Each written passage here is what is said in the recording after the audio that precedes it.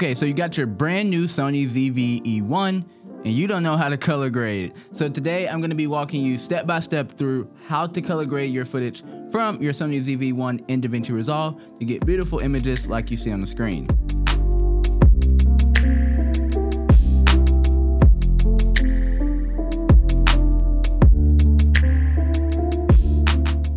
Okay, so first off, we're gonna be going to the Sony website and checking out one of their LUTs. So as you can see on the screen right now, this is what the website looks like. If you scroll down, you will see download Sony LUT right there. And yeah, you can basically get the same results I'm gonna do today without downloading this LUT.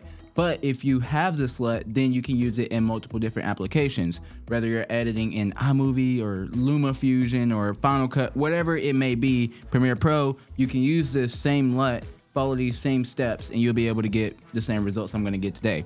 So download this LUT and then move over to DaVinci Resolve. Okay, so now let's get the LUT installed. We're gonna go over to the color tab. We're gonna click on LUTs and then you're gonna see a bunch of different things right here. You should see some LUTs.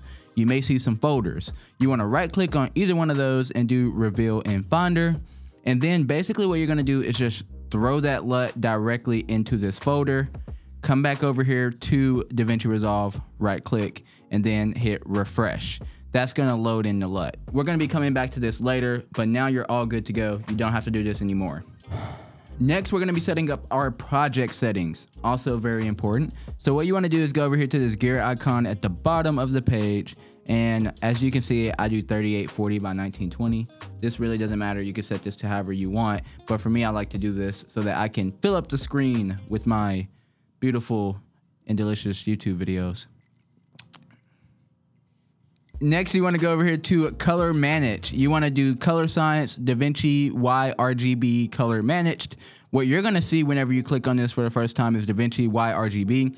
You just want to make sure you have it on color managed. That's just going to, it's going to change the way your image color grades. You don't need to know anymore. Just, just change it. I don't know why I'm so sassy right now. it's like 9:42 on a Friday night, and I have nothing better to do with my life other than teach you guys how to color grade. And hey, Matthew's here, floating hand. Floating hand. so we're gonna throw this clip on the timeline. And guess what, guys? It's me. Hi. Um, I'm not the problem. I'm showing you how to fix the problem, but it is me. Let me know if you got that reference. So let's jump over here to the color tab. We're gonna close down the LUTs and we wanna make sure that we have nodes activated. So just click up here on this and you will see your nodes. Next, we're gonna create two more nodes. So to do that, option S, option S, and then we're gonna name these. So this first one is gonna be LUT, L-U-T. The other one is going to be balance, B-A-L. The last one's gonna be Yo Mama. I'm, I'm joking. It's gonna be WB for white balance. Sorry if I triggered anybody watching this video. Okay, so next what you wanna do is go over here to LUTs. You want to right click, go down here to LUT, and then you want to find the LUT that you installed. For me, I put it in the Sony folder and I renamed it Sony LUT. This is the same exact LUT that you guys downloaded earlier or you should have downloaded. Also, if you guys wanna follow along in this tutorial, feel free to go down and download this same clip. I'll give it to you completely for free. All you have to do is subscribe or like this video. That would be helpful. If you don't do that, you're still gonna get the clip. So it probably you probably won't do it, but if you could, that would be nice. So all you want to do is click on the LUT, Sony LUT, and you can already see it looks so much better. Now we're about to go in here and add the secret sauce, which is just kind of balancing it all out. So go over here to the graph, right down here at the bottom is this icon. You want to make sure that you're on the right node. Don't be on the LUT one. Make sure you're on the balance one. Now, typically what I do is I just bring this up to 60%. I come over here to color boost and I bring that up to 5%.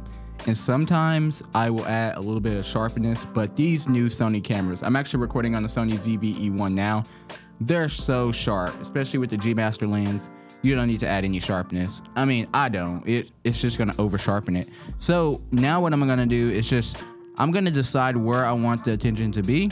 Right now, the background is pretty light. I would love to see some more green out there. So I'm just gonna pull down my highlights a little bit. I'm gonna pull up the shadows. Actually, I'm gonna go to gamma. Pull up the gamma. That's great. So if you want to toggle this on and off, on, if you want to toggle this on or off, all you have to do is click on the number of the node and look. So this last node is for white balance, but I feel like we're pretty balanced, so I'm not gonna touch it at all. So you see how quick and easy that was? Now you can go do this yourself in DaVinci Resolve and you can get a great image in just a few steps.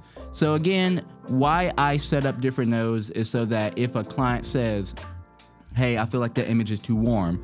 Hey, I feel like that image is, you know, whatever. I know exactly what node to come back to to make color adjustments.